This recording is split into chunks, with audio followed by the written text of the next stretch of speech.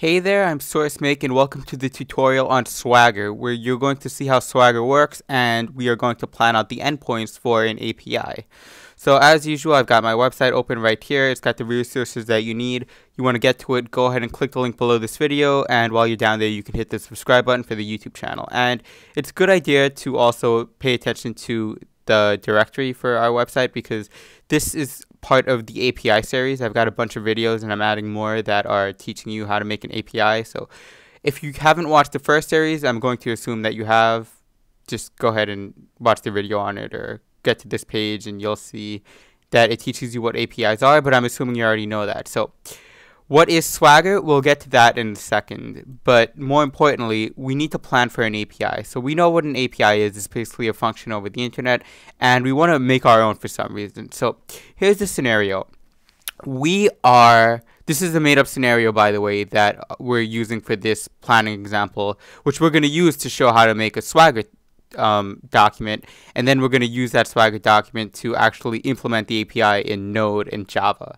So here's our situation. We own the website to a warehouse company, and our warehouse has a certain number of fruits inside of it. We get fruit shipments in. So so sometimes fruits come in from Guatemala or some tropical place and we have more fruits added to our warehouse. And sometimes stores order our fruits, so we sell them off and we decrease our quantity of fruits in our warehouse. So what we want to do is have a website that basically is able to track how many fruits we have. And the way we do this is, let's say we have a database that stores the number of fruits. So, so our database has 20 apples in it listed right now, and it's got 15 grapes, 19 bananas, I don't know, some certain amount of numbers. And anytime a new shipment comes in, we have to add to this database. And anytime we sell fruits, then that fruit has to get marked down in our database so that our database maintains how many fruits we actually have in the warehouse at any given time.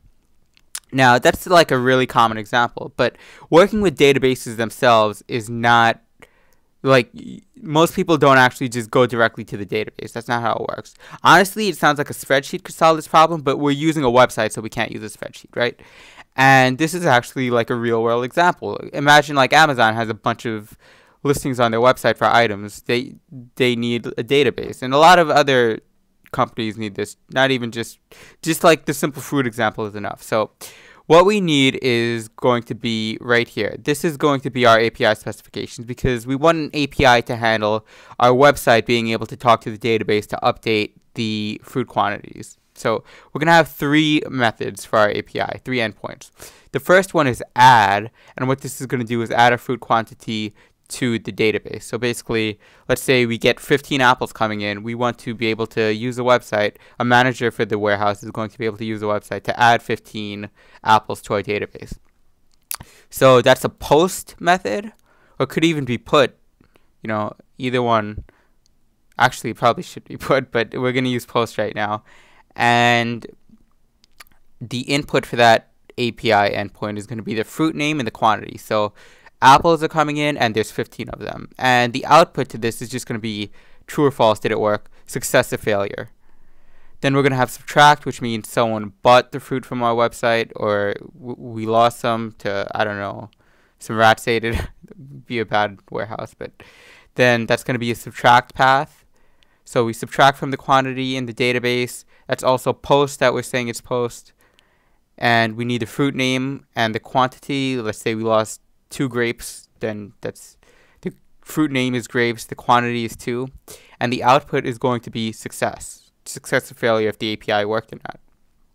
The last method that we're going to use for the website is check, just to check the fruit quantity. Like someone loads a web page for the website, they want to see how many apples we have to sell them, then we just need to know the number. So that method is going to be get because you know we're just getting quantity, we're not updating anything. And all we need is the fruit name. We don't need the quantity. And the output for this is going to be quantity. So this is the basic API specification that we have for our API. You understand the situation, obviously. So that's what's going on. And this document is probably good enough for us. But honestly, when you get into like big APIs, you that other people are using, you can't just give them this like a little list because that's not good enough at all.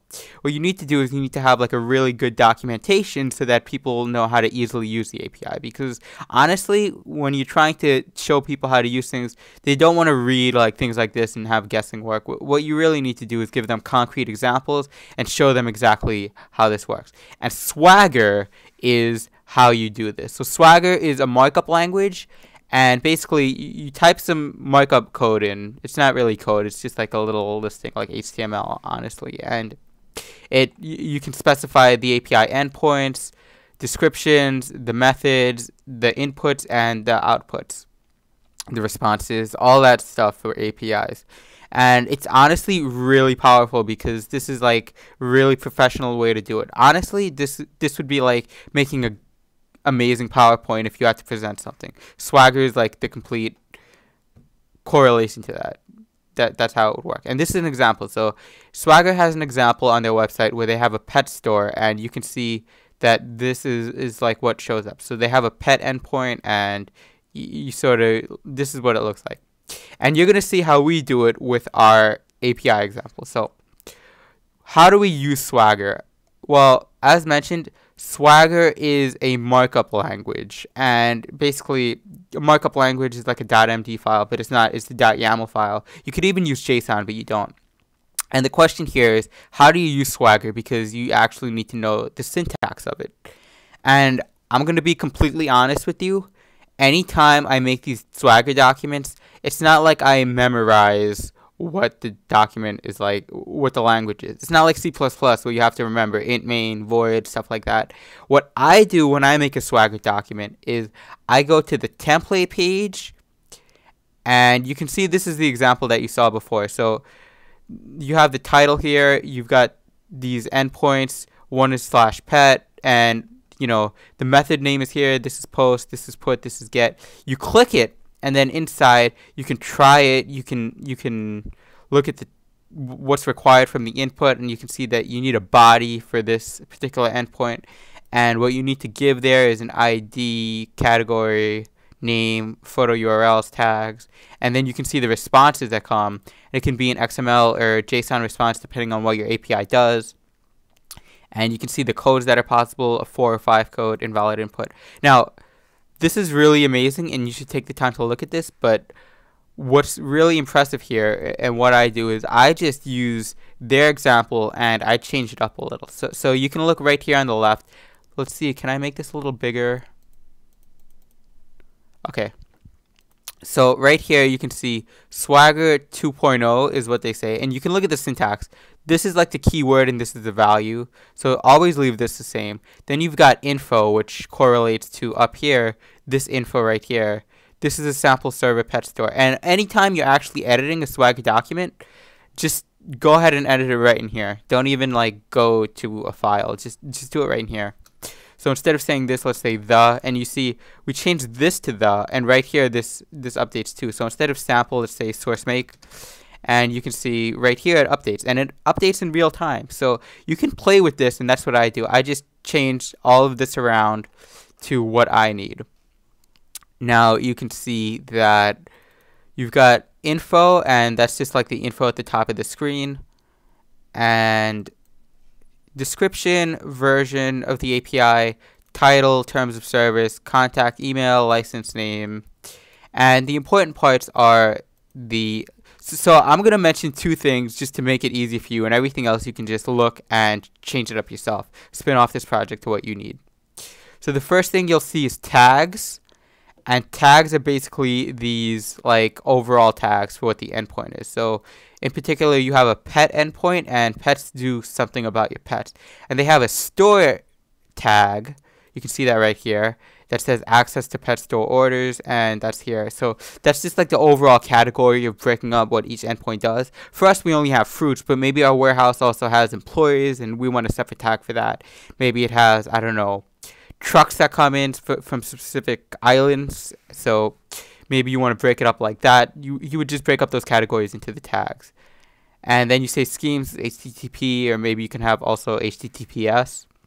So paths are the actual endpoints, and this would correlate to like this little green box right here. So so we have a slash pet path, and we have a post method for it. So the tag for this is pet, which means that it goes under the pet category. You have a summary which gets shown right here, which is the sort of description. Then you have like a bigger description if you want that's inside of it. So the summary is just like really short for right here, but description can show in here. Then you've got a few things, operation ID, add pet, I never use this, so don't use this. Consumes is application slash JSON, and it, it could consume XML depending on what the input is that you're allowing the developer to use. You've got produces, you've got parameters, which are, you know, the query parameters. No, act- actually, the parameters are any type of input. Now, there could be query, which, you know, is part of the question mark, fruit name equals so and so, and it's part of the URL itself. Then you've got body, which is part of the body of the API. So if you don't know what that is, make sure you watch the last video, but you'll see a little bit maybe in the next video.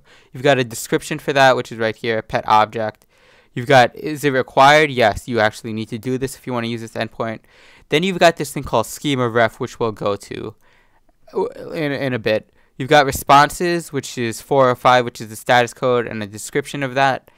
And the security I never use, so don't worry about it. Maybe eventually you'll use it, but and then you've got uh, the put method, which is just another method, which is you can see this orange one. So the next thing that we need to look at, and the very last thing, is going to be definitions. So you need to define like these JSON schemas and the way you do it is you say, okay, the name of this is going to be order, which which is any any definition is basically JSON. And the way you want to use JSON is you want to have a reference to it anytime you use it inside the document. So I'm not actually going to look at this one. Let's look at ours. So ooh, I shouldn't have this open. Don't worry about that. So back here on our website, I actually defined the Fruit Store API. And instead of looking at the pet store, you should look at this one because you know what this one's all about. So we're going to copy this. Come on, copy. Work with me, mouse. So you, we're going to copy this and we're going to put it right into the editor. And let me zoom back out a little. And you can see this is our Fruit Store API. Now, this is exactly what you'd expect. We've got Source Fruits API as the name. We've got the description right here we've got the schemes, we've got our add method, and you can see that we've got two parameters and they're going to be in the query because you can see right here it's query. And one is the fruit name and one is the quantity. They're both strings. We've got a little description for them for the user of the API to know when they look at this. We only accept JSON. We've got three response codes. 200 is okay, which means they did a good job. 400 means that the status is success, which means it, it worked. Oh, no, no, no. This is part of the 200. Sorry. Make sure you go in order. So an example return is status success, which means that it worked. We've got a 400 code, which means bad input information. And we've got a 500 return code, which means internal server error, which is standard. We've got the subtract, which is basically the same thing. And then we've got this getting category where we have check and this is basically the check thing that we mentioned before. We get the fruit name, we return the fruit name, and the quantity is JSON to the user. And you can see I've got all this right here. Now, the one thing that I was going to mention is let's look at this right here. So the last thing we need to know about for Swagger is definition. So let's look at the success definition, which corresponds to this. So this is a JSON value, but when you look at how we actually define it in the subtract method, we have the 200 response, right? You, you can't see that too well. Let me let me make this a bit bigger. You have this 200 response in the subtract method right here. And the description says it's okay. That's that's what this response means. But what do you return? Well, what you return is this schema, and it's a reference to definition slash success. Now, this is actually part of our Swagger document, our code. And you can see right here in definitions, we have the success, what is it, reference. And this is basically just a JSON thing that says, okay, we've got status is what the first value item is. And it's a type string, and you can get two values from it, success or failure. And you can see that that's de defined right down here in the document. So these are called models. Basically, they model the JSON that might be returned or used as the response bodies or the, what's the other one? Request bodies and that's how you use those. So so in definitions, you define your JSON and you just throw a reference to them. And you, you can see how this works. I can't go into too many details. Anytime you need to use Swagger, just come to the website, copy this, and change this up to how you need it. You, you can, that's what I do. You can change, you, you can obviously look back and forth and see the name and the description, and you can see where that is right here. So once you do that, you copy this and you save it to a .yaml file in your project, and that's it. Now anyone who wants to look at the API definition can go right to Swagger and they can see this really pretty picture. So that's it. That's Swagger. If if you so so we planned our API. You know we're running a fruit house, a warehouse that sells fruits, and we also get fruits in. We need a few API definitions to work with the database for our website, so we can always keep track of the quantity and we planned out that API, but you saw that this wasn't good enough. And what you need to do is you need to create a Swagger document. And what you do, anytime you need to make a Swagger document, come to this website, copy this code, paste it in here, and change the names and everything that you need right in here in the editor. And you can see it update in real time to whatever your project needs, whatever your endpoints are. Then you copy this and save it to a .yaml file, and that's it. Then anytime anyone needs to use this, they can even come right back to here to this editor, editor.swagger.io. So that is Swagger, and that's how you use it. We planned our API. This is the second video in the series again. In the next video, we are going to go over how to use Java and how to use Node to actually code this API, which is a really big deal because I'm going to do such a great job on it. It's because I'm going to teach you from the basics. So that's Swagger. If you don't know what it is, now you know. I'm SourceMake. Go ahead and subscribe. Go to my website. Do everything you need to do to learn this stuff. Thanks for watching.